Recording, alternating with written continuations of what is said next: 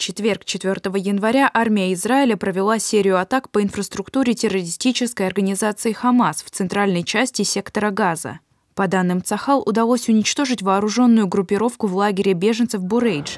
Однако обстрелы продолжились и в ночь на пятницу, в результате чего пострадали жители южной части сектора, в том числе в городе Рафах, куда прибыли многие беженцы. Не было никакого предупреждения, их никто не предупреждал.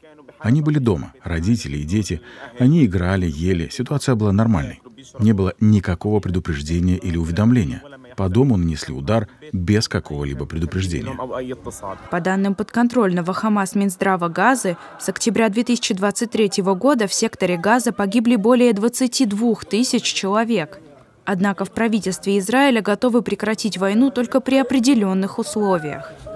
Об этом говорится в плане послевоенного управления сектором Газа, предложенным министром обороны Израиля Йоавом Галантом 4 января.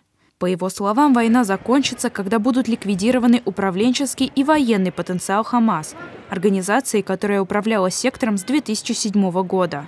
Другое условие – это возвращение всех израильских заложников. На данный момент в плену Хамас остаются еще более 130 человек – План Галанта предусматривает, что после войны управление в секторе Газа перейдет к палестинским органам власти. Правда, каким конкретно, не уточняется. В Вашингтоне ранее предлагали передать власть обновленной палестинской администрации с западного берега реки Иордан.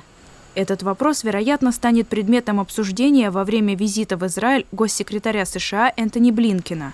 4 января он отправился в уже четвертую за последние три месяца ближневосточную поездку – в рамках которой посетит несколько стран региона. В его фокусе, как и в последние месяцы, будет предотвращение расширения конфликта. Госсекретарь обсудит конкретные шаги, которые могут предпринять стороны, чтобы избежать эскалации. Это ни в чьих интересах. Ни в интересах Израиля, ни в интересах региона, ни в интересах всего мира, чтобы этот конфликт вышел за пределы Газа. США остаются одним из главных союзников Израиля на международной арене. В Вашингтоне раскритиковали ЮАР за то, что она подала иск против Израиля о геноциде Международный суд ООН. ЮАР хочет, чтобы суд срочно потребовал от Израиля приостановить военные операции в Газе. В США такие шаги считают преждевременными, поскольку Хамас по-прежнему представляет серьезную угрозу в секторе Газа. Мы считаем этот иск незаслуживающим внимания, контрпродуктивным и совершенно не имеющим под собой никакой основы. Слушания по иску против Израиля начнутся в Гааге уже 11 января.